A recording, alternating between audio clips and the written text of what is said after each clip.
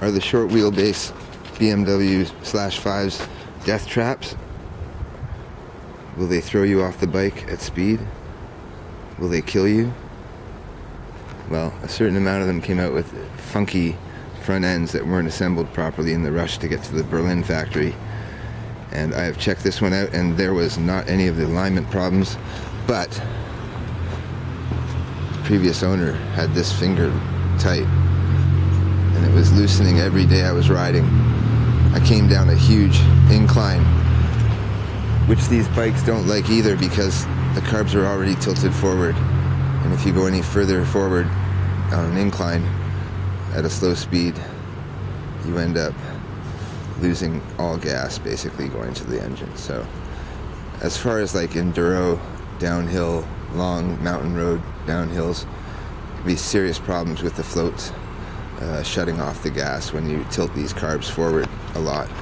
Not so bad going uphill, but anyways, it almost killed me because I was coming down at about 50, 60 and I noticed that it wasn't right.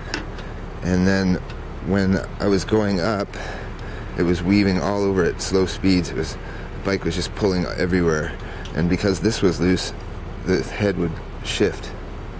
And then braking was fine and didn't do any damage to it that way. But when I tightened it down to the spec, now I have proper steering. So I think that a lot of those crashes of the Slash 5s were probably not properly assembled bikes and or non-serviced bikes. Uh, perhaps some of the new ones, the big crashes that were because of the fork alignment problems. But from what I've figured out on this bike, I did 60, 70 miles an hour up the hill that it had problems coming down. And it was pretty rock solid even with the loose headset. So you would have the feeling that it was a safe bike.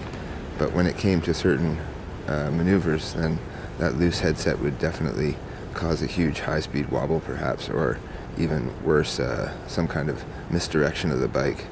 So we're going to road test it tomorrow when it's better out, not so wet. And uh, we'll do a head cam video of that, see if the Slash 5 is a death trap or not.